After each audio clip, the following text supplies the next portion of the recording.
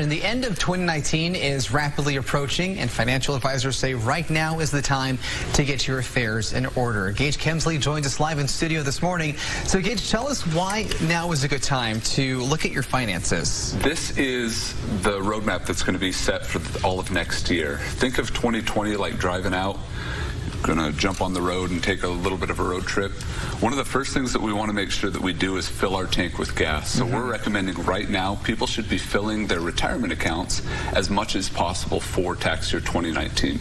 So for most individuals, that means that you can contribute $19,000 up to $25,000 if you're over the age of 50. For traditional IRAs and Roth IRAs, you can do 5,000 or $6,000 with a $1,000 catch-up if you're over 70 or uh, over 50. Mm -hmm. And don't forget about uh, health savings accounts. Those are very powerful tools as well. We want to make sure that we're filling those retirement accounts as much as possible moving into the new year. All right. And that's super important because of all the tax benefits too? Absolutely. We get uh, tax write-offs, we get tax-deferred growth, we get tax-free growth. In the case of a Roth, I think each one of those is a very powerful powerful tool. We need to be paying attention to taxes moving forward. Um, we just need to make sure that we've got a proper plan in place and that we're preparing for the future. And how can people maximize their income from the past year? That's a, a good question. This is kind of a little bit counterintuitive. We're taught like throughout our entire life that we shouldn't procrastinate. Mm -hmm. In this case, it might be good to procrastinate. Depending on how you're compensated, if you are like a sales guy, you receive commissions, you may want to defer some of those commissions until after the new year. Hmm.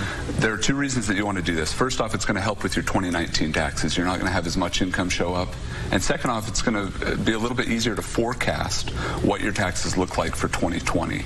So that goes for commission-based guys. That goes if you're getting a bonus, talk with your employer to see if you can defer that bonus for after January 1st. Procrastinate it. Right. And if you have uh, stocks or bonds, what should you be doing now?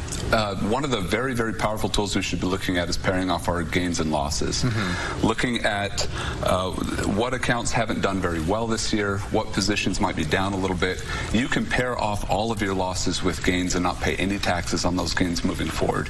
That's a very effective strategy, and you have to do it before the end of the year. So you should be sitting down with a CPA, maybe with a financial advisor. We got like two and a half weeks left before the end of the year, and it has to be done right. by December 31st. Yeah, time is running out. All right, thanks so much for stopping by. We'll you be bet. back after the break.